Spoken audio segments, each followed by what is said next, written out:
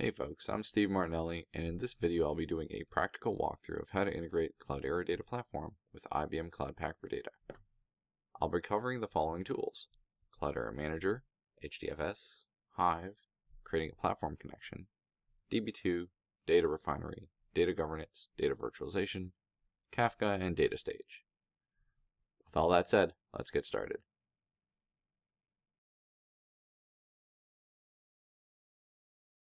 So we begin with an overview of Cloudera Manager. To start, let's log in. You can immediately see the most important information about our cluster, such as the services that are available, the number of hosts, the runtime version, and the Cloudera Manager version. Let's take a look at our hosts. We are running this cluster on 8 CentOS 7 VMs on IBM Cloud, each with about 500 gigabytes of hard disk and 128 gigs of RAM. Depending on what you're trying to accomplish, you will want to raise or lower those specifications. Clicking on parcels takes us to the Cloudera's package manager. And you can see here we have installed version 717 of the Cloudera runtime, as well as an additional package that provides streaming related services like Kafka, Flink, and SQL Stream Builder. More on those at the end of the video. One of the first things you'll want to do in a Cloudera cluster is to load some data onto its distributed file system, HDFS. I'm on one of the virtual machines here. Let's load some data. You can see I have two CSV files here full of data on my local disk, one for products, another for retailers.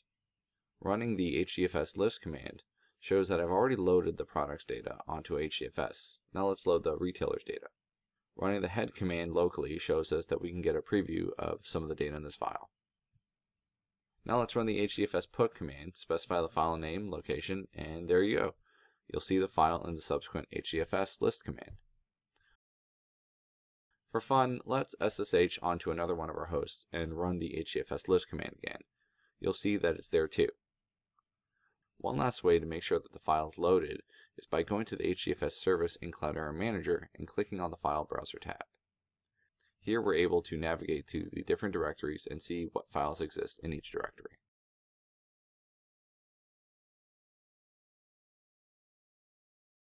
The Hive service in Cloudera is a SQL-based data warehouse. To start using Hive from the command line, you can run the beeline application. From here, we can run SQL commands such as show databases. For this demo, we're going to use the Go Data database. We can also run the show tables command to see what we have loaded in this database. We can see that we have the products loaded. Let's get the first few rows of that table. Now let's go ahead and create a table for our retailers. I've copy and pasted the command. It contains column names and types, but the table is still empty. Let's try and load the data that we just put into our HDFS. We can do this by running the load data in path command and specifying the data source in the HDFS path and the table name. Rerunning the show tables command now lists two tables, and showing the first few rows of the new table gives us a preview of the data. This should be similar to what we saw in our head command.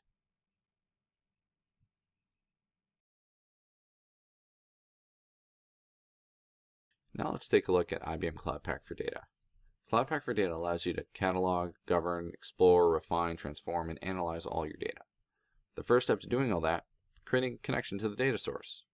Let's log in and create a new connection to Hive. To find the connection details for the Hive service, we'll launch Knox, which acts as a gateway for Cloud Cloudera services. From your dashboard, you can see the various services that are Knox enabled, and further down you can see the JDBC URL for Hive. Let's copy that and go back to Cloud Pak for Data. You can see I've already got a few connections registered. Let's launch the one labeled Hive via JDBC and verify the connection string. One thing to note is that I manually upload the Hive JDBC jar file, which I can get from the Cloudera support site. The JDBC string matches, and we also had to supply the driver name, credentials, and SSL certificate of the Knox host, which again you can get from the Knox dashboard. Let's test the connection and looks like everything's good. Let's go on to the next step. To start using our new connection, we'll need to create a project. Let's quickly create a new project called Demo, and from the Assets tab, we can import the new connection that we just verified.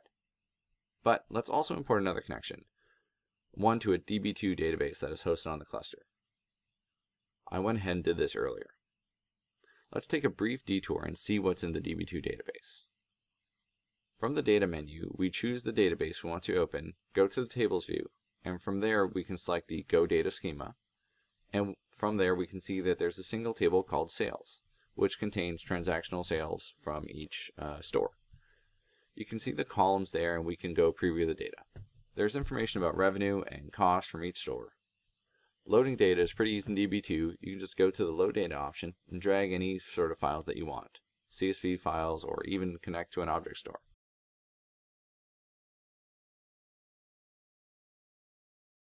With our connections available in the new project, let's use IBM's Data Refinery tool to transform the data. Click on the Add Project button, choose the Data Refinery Flow option, click on the Hive JDBC connection, and find the data we imported earlier in the retailers table. You can choose to preview the data too. Finally, click Add and you'll be taken to the Data Refinery tool. Here you can see all the columns and some of the rows. Before we transform some of the data, let's look at the tabs up top. The Profile tab gives us a quick rundown on what are some of the most frequently used values in our data. The Visualization tab allows us to create a quick visualization. Let's go ahead and choose country and we'll get a pie chart by default. We can e easily switch this to, say, a bar chart. Clicking on a column brings up a menu where you can see all the different types of operations that can be performed, like calculating a new value or converting column type. As a quick example, let's say that we want to drop the province or state column from our data. We can do that too. Once it's been dropped, click on the save icon and it'll bring up options for when we, when we want to run this data transformation. In our case, we want to just run it once. The new data will be available at the project level and the logs from the job will be in the Jobs tab.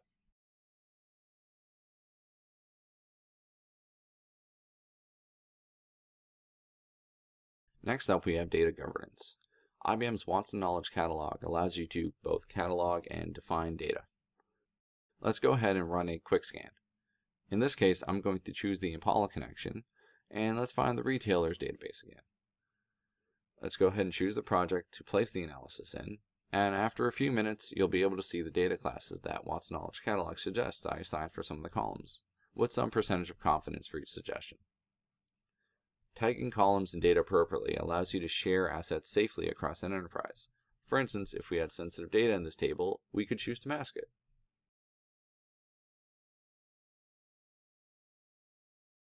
Data virtualization is another one of the strong suits of Cloud Pak for Data. It's capable of connecting to multiple data sources and turning all that data into one logical view. From our data virtualization data sources view, we can see the connections we already established to both DB2 and to Hive. Clicking on the Virtualize option allows us to search for specific tables across our connections.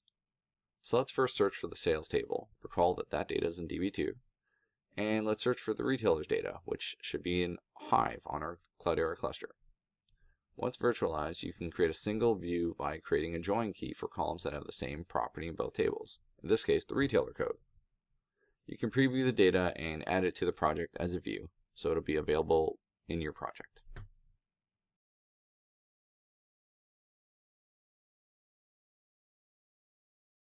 Cloudera provides a set of integrated streaming solutions that can be used to meet a variety of streaming requirements that customers commonly encounter. Services such as Kafka, Flink, and SQL Stream Builder are essential for these streaming solutions. From our Cloudera Manager, we can see that our Kafka service is highly available. We have three brokers running on three hosts. We've also enabled SQL Stream Builder, which we will be accessing from Knox. Once logged into SQL Stream Builder, we can see that it's been pre-customized to be aware of the Kafka provider already on our cluster. For this scenario, let's pretend that our Kafka service is receiving some new sales messages. I wrote some Python code to simulate this. From SQL Stream Builder, we can choose a new table, give it a name, choose the Kafka provider, the topic name, and leave the format as JSON. We can even auto-detect the values from sampling some of the messages. Once we have our table defined, we can simply write some SQL code to view the data. In this case, we are just going to write select star from Kafka sales. We'll start to see the messages being produced. Starting in version 1.6 of Cloudera Streaming Bundle, DB2 will be supported and messages received from SQL Stream Builder can be synced to DB2.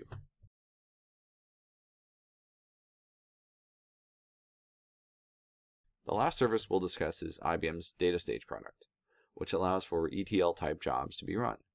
I've already started to create a new job in DataStage by laying down a Kafka tile and a Peek tile. Running the job shows that we're able to read the same messages that are on the Kafka broker on Cloudera, but read them on DataStage. There are many more operations you can do with DataStage, such as merging or sorting data, and many more connections you can create as both a source and a target with DataStage, such as an object storage service like S3, DB2, or even a local or HDFS web file. I hope you enjoyed learning about the Cloudera Data Platform and IBM Cloud Pak for Data. On the Cloudera side, we covered many services such as HDFS, Hive, Knox, Kafka, and SQL Stream Builder. And on the IBM side, we covered many services such as Data Refinery, Data Governance, Data Virtualization, and DataStage. Thanks for watching, and if you have any questions, leave them in the comments below.